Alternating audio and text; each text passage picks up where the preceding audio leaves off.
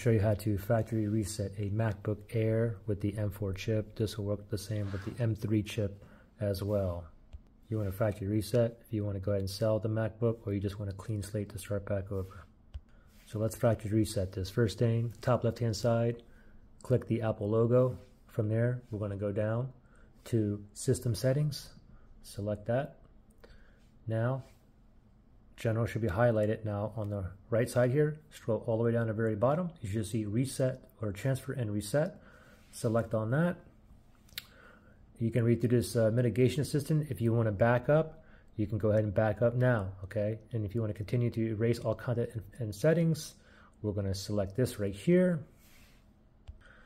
Enter your password to this MacBook, then click on unlock erase all content and settings. It's basically going to be erasing everything, your media, data, even all this stuff down here.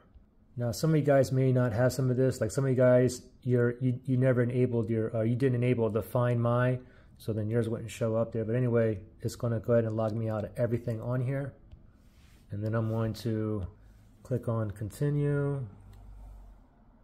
Sign out of Apple. Put in your Apple password.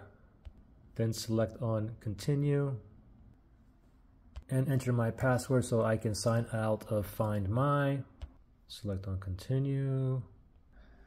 You are about to erase all content and settings from this Mac. Read through this. Once you do this, it cannot be undone. Okay, so if anything is important on here, make sure you back up before we click here. All right, so we're going to go ahead and select. Now it's turning on. You get like a status bar here, so let's be patient. Now, if you get this screen here, it says activate Mac. We can just activate it really quickly so we can get that hello welcome screen for setup. Just connect to your current Wi-Fi. Just bring the mouse up to the Wi-Fi icon there and we're going to turn um, go to join other network, Wi-Fi networks. And then I'm going to tap down here, show networks. All right, there's my network. I'm going to go ahead and join. I'm going to input my Wi-Fi password.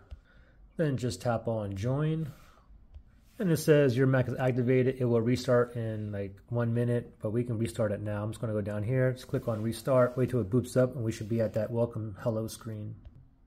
And voila, we're in business, guys. Pretty simple.